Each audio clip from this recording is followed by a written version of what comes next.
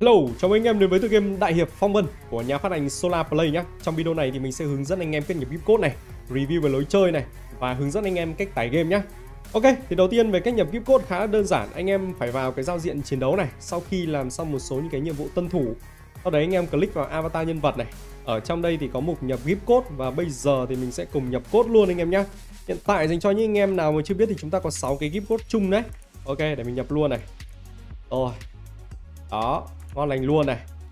Tiếp theo là 50k 100k này. Đây mình sẽ chỉnh sửa đây luôn nhá. 50k đổi luôn. Có phần quà liền. Ờ, uh, 100k rồi. Tiếp theo là 300k đấy.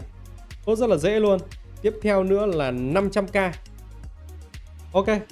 Ồ oh, cốt 500k chúng ta có một vị tướng luôn này anh em này. Wow. Được cái chứ nhở? Xịn sò luôn, nhận luôn vị tướng đỏ anh em nhé Với cả có thêm một cái cốt nữa Hình như là cốt tuần hay là cái gì đấy. Mình cũng không rõ là cái gì nhưng mà đây. Happy cái gì gì ấy. Đấy, anh em thấy ngon không? Wow, có một nghìn cái uh, nguyên bảo luôn anh em nha Hơi bị được luôn đấy. Thì đấy là tất cả 6 cái gift code rồi. Bây giờ thì chúng ta sẽ cùng nhau trải nghiệm về gameplay nhá. Chờ mình tí mình thiết lập một chút này. À, Nhạc mình tắt đi này. Dung mở lên này mình giảm uh, ok âm lượng thì mở thì tắt luôn anh em nhá. Đấy. Bởi vì mình quay video sợ bản quyền anh em ạ. Bây giờ thì chúng ta sẽ cùng nhau review về lối chơi. Anh em có thể thấy là đây là cái nhân vật chủ tướng của mình. Thì có thể thấy là nó bắn gọi là cháy máy luôn. Đây là cái giao diện vượt ải của chúng ta nhá. Thì, uh, đây là chúng ta sẽ có uh, những cái phút để auto.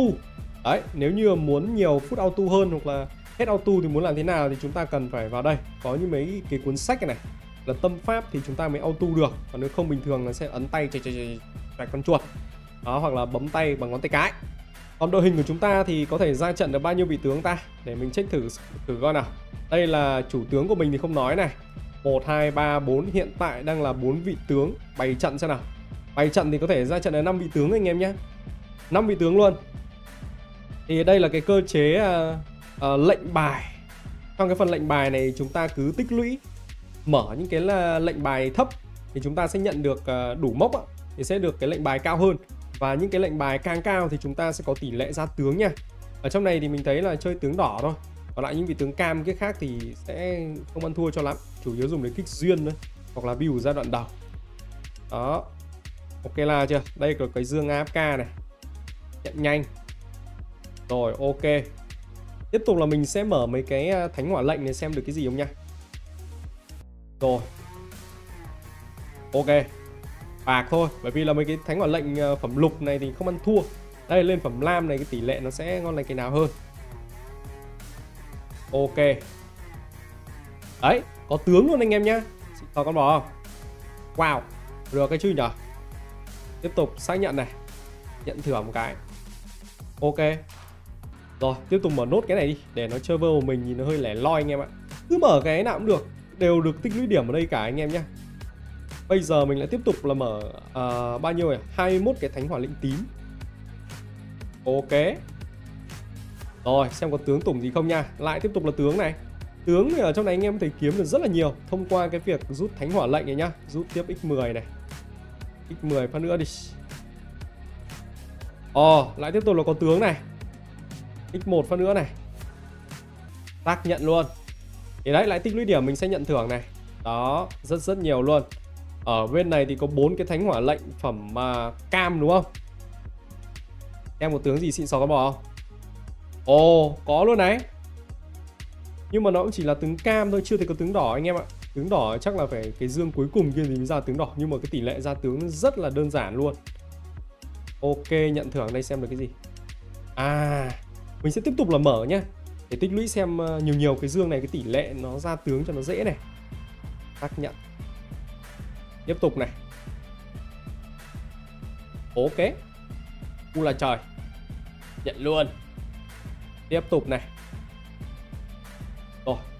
Nói chung là những vị tướng nào mạnh ấy, thì chắc là mình cần phải trải nghiệm ờ, game thêm một thời gian nữa. Thì nếu như anh em uh, muốn mình làm thêm về cái series là review các vị tướng nào mạnh nên chơi ấy thì nhớ đăng ký kênh cũng như là để lại bình luận nhé nếu nhiều nhiều bình luận một tí thì mình cũng sẽ chơi để có thể là review cho anh em.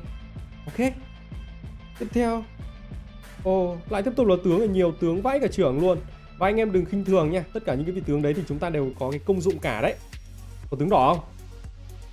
Hy vọng là Ồ, nó vẫn là tướng cam thôi. Ai chỉ bà. Đấy, nhìn chung là phải tích lũy nhiều nhiều một tí Mở cái tỷ lệ ra tướng đỏ nó mới xịn được. Thánh hỏa đạt chỉ tiêu này. Đạt chỉ tiêu là 1.000 lần là chúng ta sẽ có 10 mảnh. Ơ, à, được cái chứ? Nhờ. Tích lũy cái mảnh tướng đỏ đấy là cũng được đấy. Ờ, tiếp theo có cái gì nhỉ? Quà thánh hỏa này. Miễn phí. Ủa, cái này là phải nạp. Cái này là sự kiện này. Cái này là nhận được này. Ok. Đấy, nhìn chung là anh em tích lũy nhiều thánh hỏa lệnh vào nhá. Sau đó thì Ờ, để làm nào mở được nhiều nhiều cái tích nhiều cái thánh hỏa lệnh bậc cuối này Thì chúng ta mở sẽ ra được nhiều tướng hơn. Rồi, còn đây là giao diện chiến đấu này. Tụ hiền trang để có thể là chiêu mộ tướng này. Đấy lúc nay mình cũng có 25 cái vé chiêu mộ chắc là nhập cốt đúng không? Thì bây giờ mình sẽ chiêu mộ luôn. Em là cái tỷ lệ ra tiếng đỏ đây như thế nào. Ô Ô Hình như là Long Tiên Nhi này là mình sở hữu rồi cho nên là nó ra 8 mảnh này. Rồi cứ chiêu mộ X10 là Ui chắc chắn sẽ ra một vị tướng đỏ anh em nhé Wow! Hiệp khách mới luôn. Ui nhìn lực thế nhở? Để thay đổi đội hình thì anh em phải vào phần hiệp khách này Sau đấy vào phần bày trận này. Muốn thay đổi vị tướng nào? Ví dụ như đây chẳng hạn. Sau đó mình sẽ kế thừa cho em tướng đỏ mới mình vừa mới nhận được. Sau đó ấn vào kế thừa nha. Đấy đẹp chưa? Tiếp tục đây là một vị tướng tím mình sẽ kế thừa vị tướng cam nào đó đi. Kế thừa tạm ở đấy cái đã anh em ạ.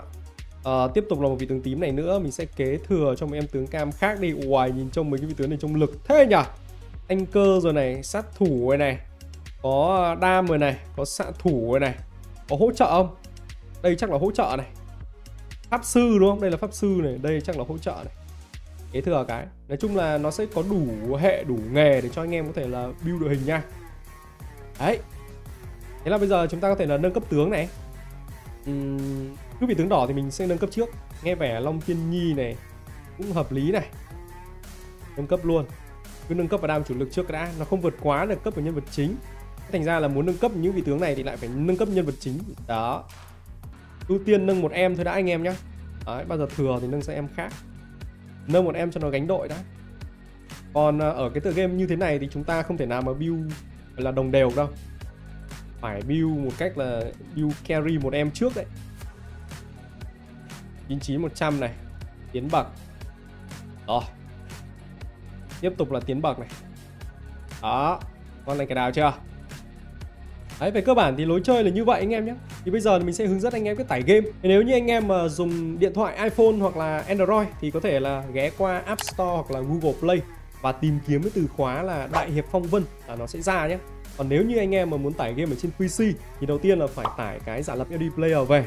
Bước 2 là mở giả lập lên Sau đó vào cái phần cửa hàng LD và bước 3 là tìm kiếm từ khóa Đại Hiệp Phong Vân. Thế thôi, Còn link tải giả lập LD Player thì mình có để luôn ở dưới phần mô tả nhé.